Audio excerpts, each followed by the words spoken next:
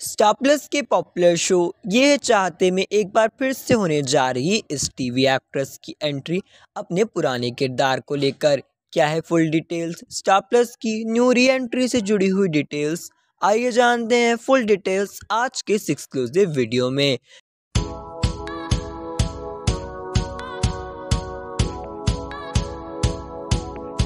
Well, आपको बता दें यह चाहते जल्द ही एक लंबा जनरेशन लीप लेने वाला है, जिसके बाद शो में कई बड़े बड़े ट्विस्ट और मेकर्स ने प्लान कर लिए हैं। तो वहीं खबरें हैं कि शो में शो की पुरानी एक्ट्रेस यानी कि पूर्वा गोखले, एक बार फिर से अपने पुराने किरदार में हमें नज़र आने वाली हैं लीप के बाद। आपको बता देंगे शो में एक बार फिर से रिवाती चौधरी की भूमिका में नज़र आने वाली हैं।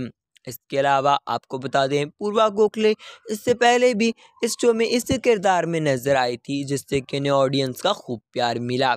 आपको बता दें, इसके अलावा कहा जा रहा है कि लीप के बाद ये काफ़ी इंटरेस्टिंग भूमिका में नज़र आएँगी। ये रुद्र और प्रिशा के बच्चे की एक बहुत ही अहम टेकर बनकर नज़र आने वाली हैं। आपको बता दें, इसके अलावा कहा जा रहा है कि जिस तरीके से पूर्वा गोखले को एक बार फिर से शो के लिए रोपिन कर लिया गया है उससे लीप के बाद शो में एक बड़े बड़े ट्विस्ट मेकर्स प्लान कर रहे हैं।